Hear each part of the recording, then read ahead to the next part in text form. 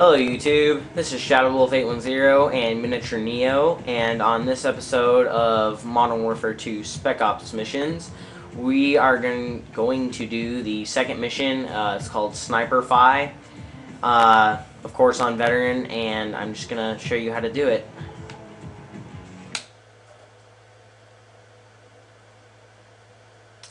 And now it takes forever to load. So guys, uh, this series, for those of you who haven't seen it before, is going to be a kind of a series on all the Spec Ops missions and how to do them on veterans. So, just a little time waster right there. Alright, um, my strategy is take the claymores up here and plant them around here. Plant a couple by the cars. Now there's more claymores right there, so you'll be able to get more. But then after I have three or four there, then I start put I put at least two by this ladder.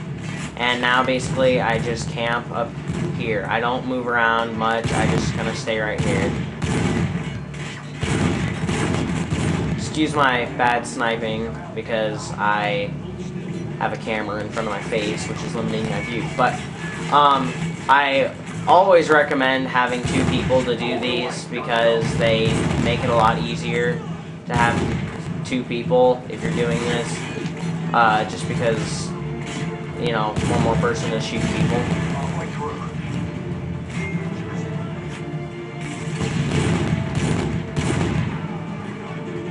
Uh, I'll probably get the Predators so they can see it. Neo was mentioning how after this, wave of them, we get a Predator missile to start taking people out with, and that's going to help a lot.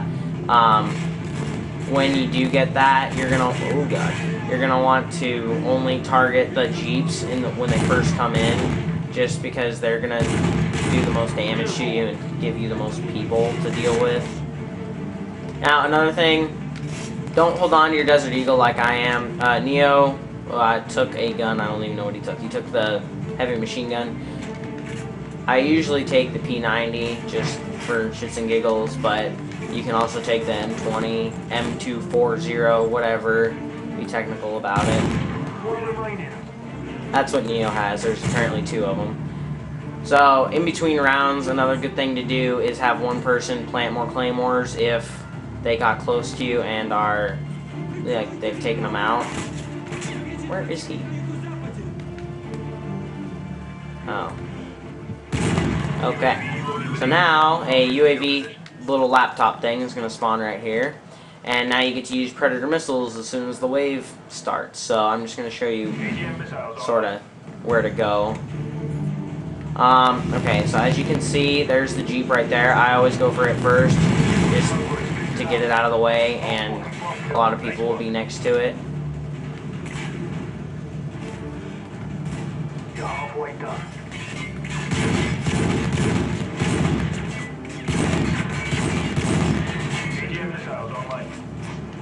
But you're always going to want to take, like, your Predator missiles take priority over the sniper rifles all the time, so.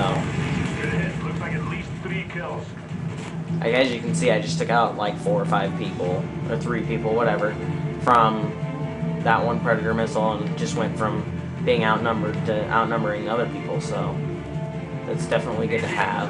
Uh, another thing is don't waste it on one person. If you can't find them, just wait for them to come out because um, if it hasn't recharged when the next round starts, then you guys are kind of get screwed over because you won't be able to hit the jeeps and junk like that. So do try to start it as soon as the round starts though, and always go for the, the like uh, personnel carriers. Those are definitely important. So when the later rounds come and you get jeeps and personnel carriers, always go for the personnel carriers first.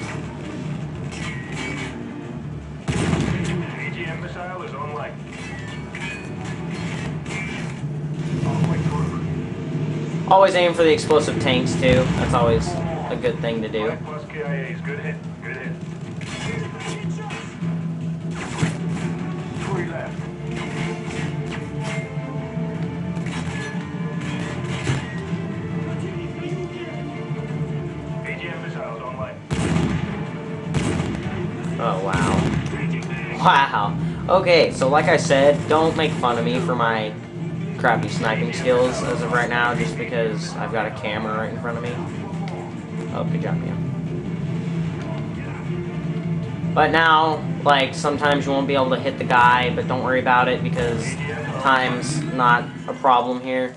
If it was timed, then go ahead and use the Predator, but just save the Predators for in between rounds.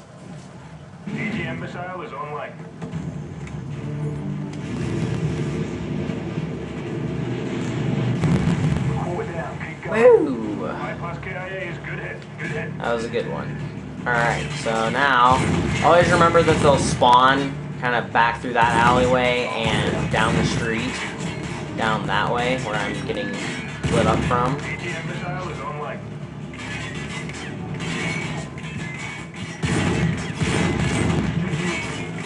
And don't be dumb like me and forget that your Predator's online. That's never good to do.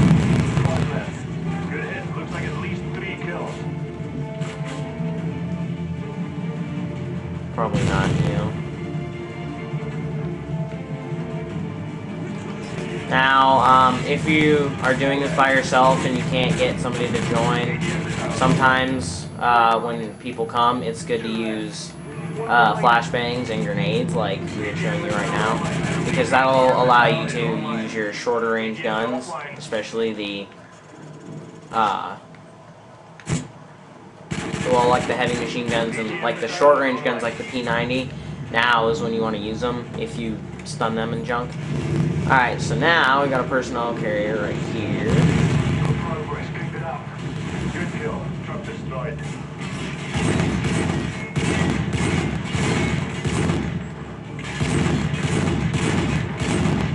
I don't know, Neo.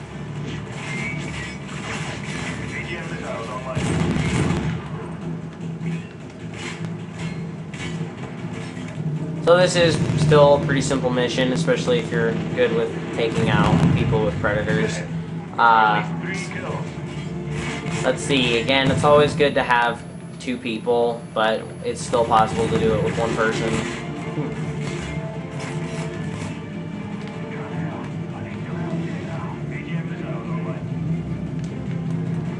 When you fire your missiles, always go behind the little place where I am. I don't know how to explain it, but um, that's like these little crate things right here.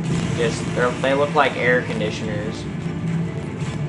But um, that's usually the best place to go when you want to fire those.